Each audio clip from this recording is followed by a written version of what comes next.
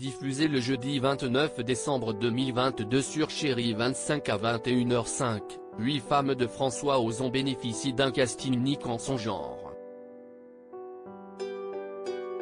8 actrices qu'il a fallu gérer et diriger dont Ludivine Sagné que le réalisateur connaissait déjà très bien.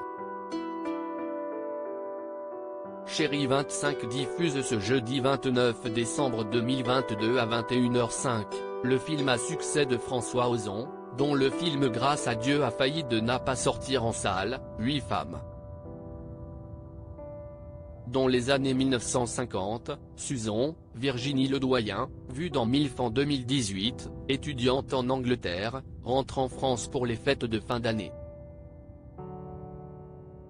Dans la vaste demeure familiale isolée par la neige, elle retrouve sa mère Gabi, Catherine Deneuve, très proche de Johnny Hallyday, sa tante paternelle Pierrette, Fanny Ardant, magnifique dans le film de Nicolas Bedos La Belle Époque, sa sœur Catherine, Ludivine Sagné que l'on peut voir dans Lupin sur Netflix, sa grand-mère, Danielle Darieux, décédée à l'âge de 100 ans, et sa tante maternelle Augustine, Isabelle Huppert qui a fait sensation dans sa robe verte à Cannes en 2022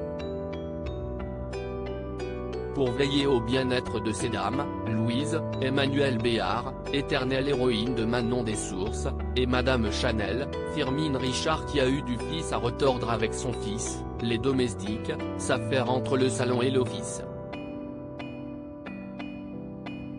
Quand Marcel, Dominique Lamure, le maître de maison, est retrouvé assassiné dans son lit, un poignard planté dans le dos, les femmes présentes sont terrorisées. Bientôt, elles se soupçonnent l'une l'autre du meurtre. Un casting de folie dans cette comédie façon enquête policière à la Cluedo, on est évidemment séduit d'emblée par le casting 5 étoiles.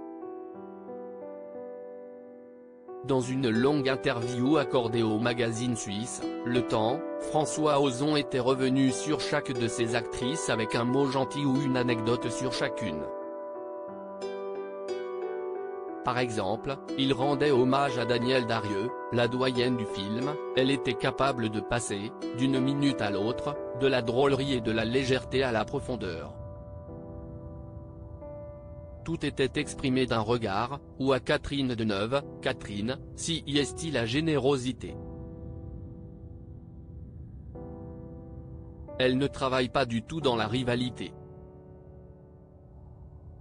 Elle recherche la complicité. Elle souhaite sans cesse que tout le monde soit bien. Mais pour Ludivine Sagné, la plus jeune des actrices, le discours n'était pas le même. Et pour cause. Point la bouc émissaire Ludivine Sagné François Ozon évoquait ainsi la jeune actrice, parmi les films de Ludivine, je suis presque obligé de citer celui que nous avions déjà tourné ensemble, Goutte d'eau sur pierre brûlante, 1999 d'après une pièce de Fassbinder. Forcément, si est-il là que je l'aille découverte. Son rôle lui permettait de développer une très grande sensualité.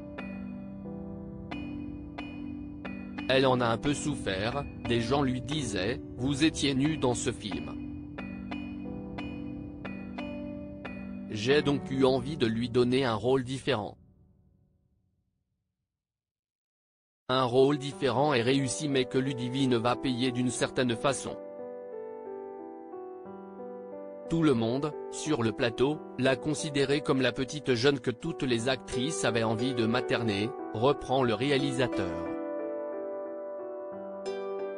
Dans le groupe, elle est sans doute celle dont je me suis le moins occupé. Peut-être que je me suis permis d'être plus dur avec elle parce que je n'osais pas utiliser les autres comme bouc émissaire. Quand ça n'allait pas, je me vengeais sur elle. Elle ne lui en voudra pas puisque Ludivine Sagné retrouvera le réalisateur en 2003 pour le rôle principal de Swimming Pool. À lire aussi Fanny Ardant dévoile les coulisses très drôles de sa célèbre scène de baiser avec Catherine Deneuve dans Huit femmes.